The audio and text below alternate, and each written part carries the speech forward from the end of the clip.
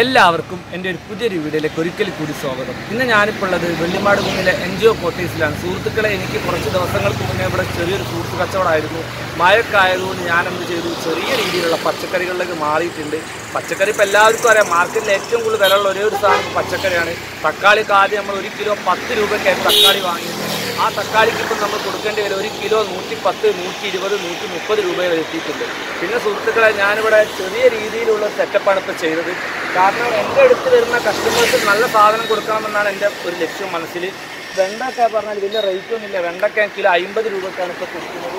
നല്ല ഇനം ചെറിയ ചെറിയുള്ളിയൊക്കെ കിലോ നൂറ് രൂപയാണ് എന്റെ വില. പിന്നെ നല്ല ഉരുളക്കിഴങ്ങൊക്കെ മുപ്പത് രൂപ കൊത്തവര നാൽപ്പത് ബീറ്റ്റൂട്ട് നാൽപ്പത് പച്ചമുളക് ഉണ്ട് എൺപത് രൂപ വലിയ ഉള്ളി മുപ്പത്. ഫ്രണ്ട്സ് നമുക്ക് ഇന്ന് ഇവിടെ ഒരു സുഹൃത്തിനെ കൂടി പരിചയപ്പെടാനുണ്ട്. നമ്മുടെ എല്ലാം സ്വന്തം ശശിയേട്ടൻ അല്ലേ?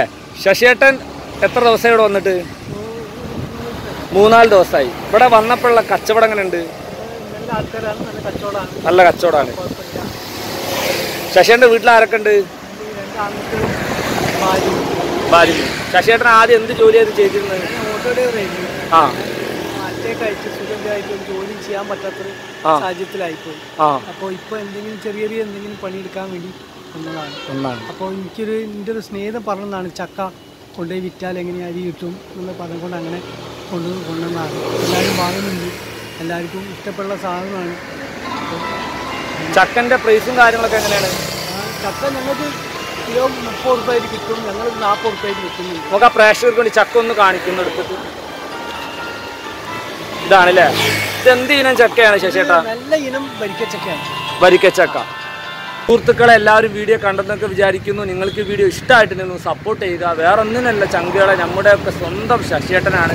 അദ്ദേഹത്തിനൊക്കെ ഒരു നേരത്തെ ജീവിതമാർഗത്തിന് വേണ്ടിയിട്ടാണ് അദ്ദേഹം ഈ ചക്കയുടെ കച്ചവടം ചെയ്യാൻ വേണ്ടി വന്നത് ചക്കന്റെ.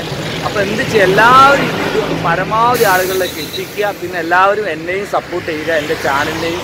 പിന്നെ ശശിയേട്ടനൊക്കെ പറഞ്ഞാൽ നമ്മുടെ സ്വന്തം കൂടപ്പിറപ്പിനുമായിട്ടാണ് ഞാൻ കരുതുന്നത്. അപ്പോൾ എന്ത് ചെയ്യുക? എല്ലാവരും ഇവിടെ വന്നിട്ട് ഒരു കിലോ ചക്കൊക്കെ വാങ്ങി മൂപ്പരെ സപ്പോർട്ട് ചെയ്യണം. എന്ന് മാത്രം എന്ന് പറഞ്ഞുകൊണ്ട് ഞാൻ ഈ വീഡിയോ വൈൻഡപ്പ് ചെയ്യുന്നു. അപ്പോൾ എല്ലാവരും ശശിപ്ര വിട പറയുകയാണ്. ബൈ.